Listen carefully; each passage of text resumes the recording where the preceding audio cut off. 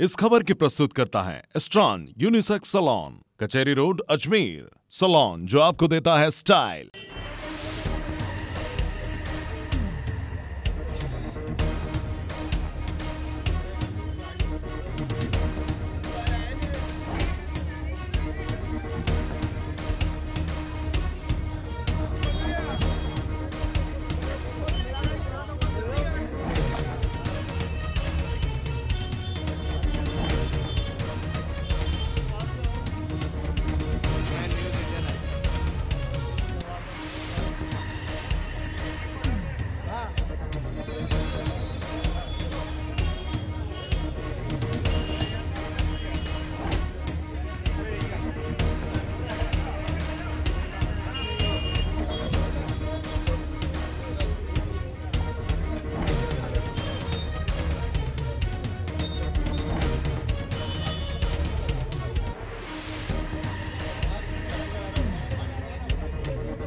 मैं सुबह मंदिर पे था, आरती पूजा कर रहा था।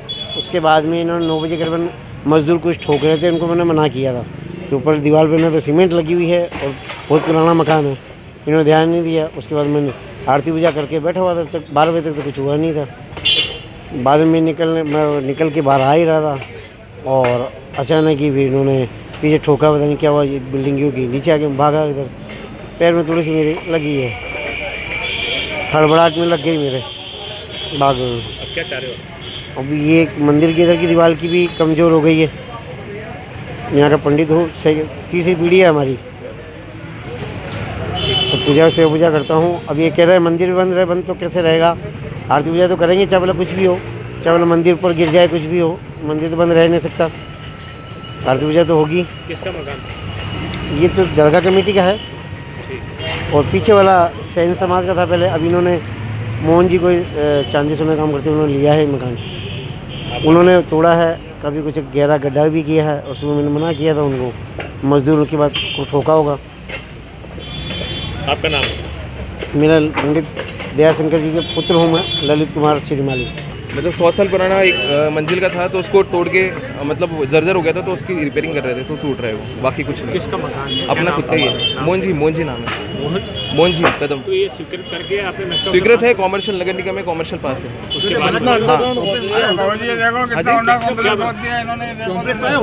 कुछ भी नहीं है पुराना बिल्डिंग पुराना जर्जर भवन है। जर्जर भवन है जर्जर भवन। उसको तोड़ के बनाने की नगर निगम स्वीकृति भी अपने पास है। वो सारा है आपको पूरा आपको दे देंगे प्रोवाइड करा देंगे। तो इसमें कोई आता है कुछ भी नहीं है कुछ भी नहीं खंडर खंडर। कुछ भी नहीं खंडर कुछ भी नहीं है कोई कोई हताश नहीं है अरे कुछ भी नहीं हुआ भैया।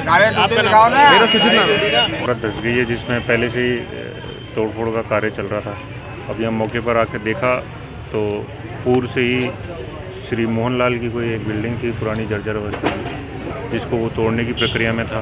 उसी दरमियान पड़ोस में ये जो कमरा बना है वो भी धस गया। मौके पर आकर अभी प्रथम दृष्टि हमने ये बल्बा गिरा है उसको हटवा के चेक करके देखा तो जनहानि प्रतीत नहीं हो रही है। फिर भी पूरी तसल्ली के लिए हम ये पूरा मलबा हटाने के बाद ही बता पाएँगे। सर पास में मंदिर है मंदिर के पीछे की एक एक साइड की दीवार में देखने से वो टूट फूट नज़र आ रही है। जो जो भी जर्जर अवस्था में है और ख़तरनाक स्थिति में वो भी गिरने की संभावना है अगर उसको रिपेयर नहीं किया जाए तो।